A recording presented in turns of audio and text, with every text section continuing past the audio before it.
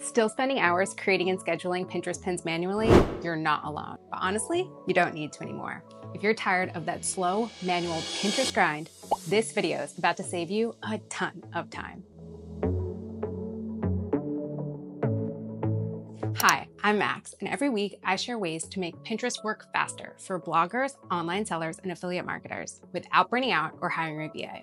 If you want to learn more about this, like this video and subscribe to our newsletter. The link's in the description. Today, I'm going to show you how to plan, create, and schedule an entire month of Pinterest content in just a few minutes using one simple tool. No ChatGPT, no Canva bulk create, no messy spreadsheets. It's even easier than that. By the end of this video, you'll know exactly how to turn your blog post or product links into 30 plus pins ready to go live, optimized, and scheduled out. Stick around because I'm also going to share how many pins Pinterest actually recommends pinning per day, how to avoid getting flagged for reusing links, and what to actually do instead. If Pinterest has felt like a time suck, or you've been stuck trying to figure out how to make it work, today we're going to plan, create, and schedule a month of Pinterest pins in minutes. And as you can see, this video isn't very long, so this is exactly the tool you've been waiting for. But what does a month of Pinterest content actually mean? Pinterest recommends posting between one to five fresh pins every day for new accounts and 10 to 25 fresh pins for more active accounts. Yes, this includes weekends too.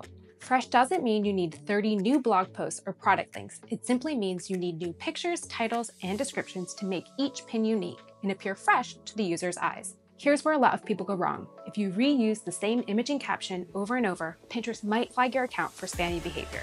We'll get into those best practices later, but just know this is one of the biggest time wasters for creators. And it's also where Pin Generator shines.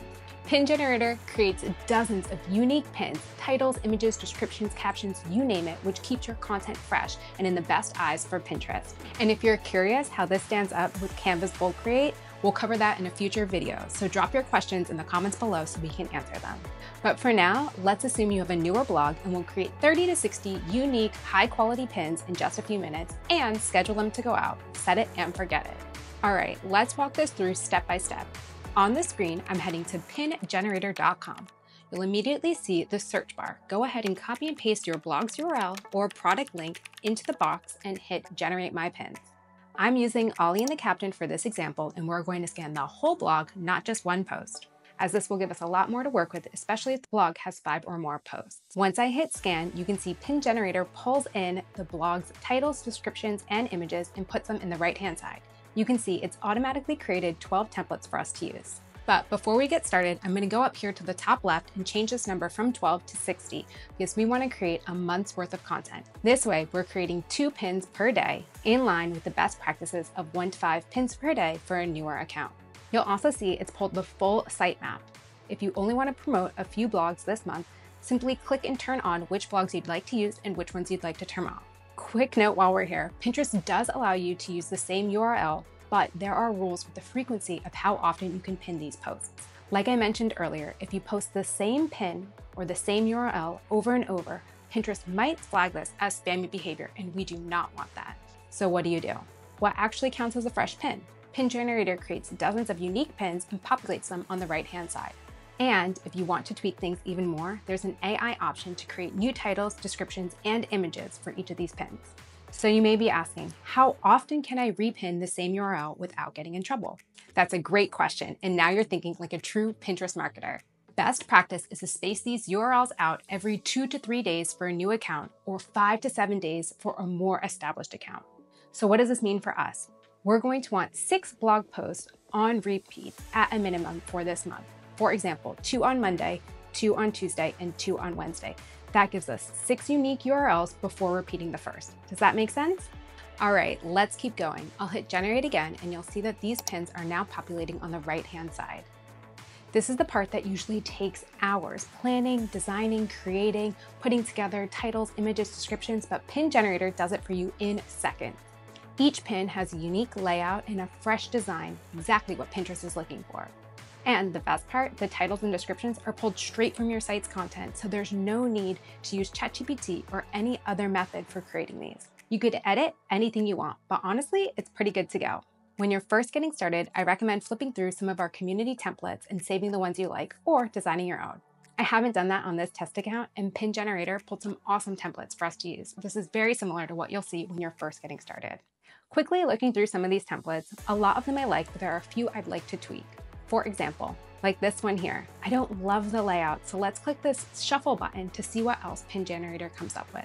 Simply keep clicking it over and over until you find one you like. And if there's a design you love, you can click this lock button to save the design.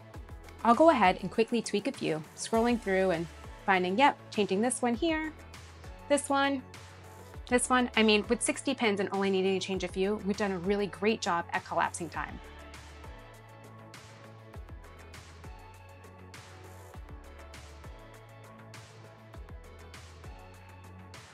All right, it looks good to go. Let's continue.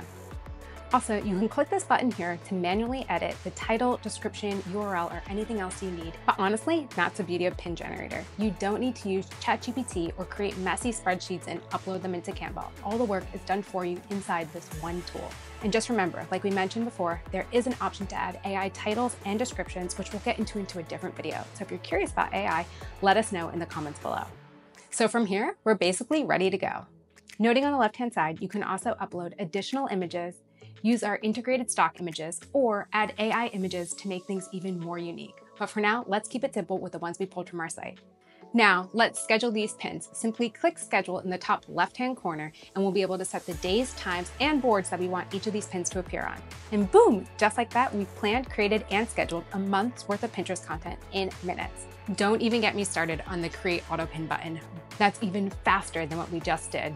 We're not covering that today, but if you want a video on how it works, let me know in the comments. And if this video is already saving you tons of time or teaching you ways to improve your workflow, give it a like. It helps more creators find this video and lets me know what kind of content to create. I'm Max, and I'll see you next week with another fast, easy, simple way to improve your Pinterest strategy without burning out. In the meantime, let's get generating.